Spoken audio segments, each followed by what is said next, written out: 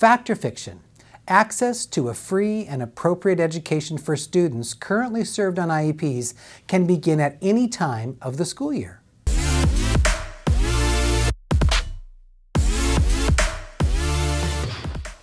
Fiction.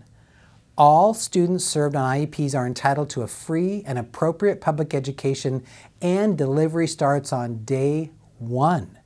It will be important for you and your special education team to solidify your plan on how each student being served on an IEP will receive services on the first day your district opens school.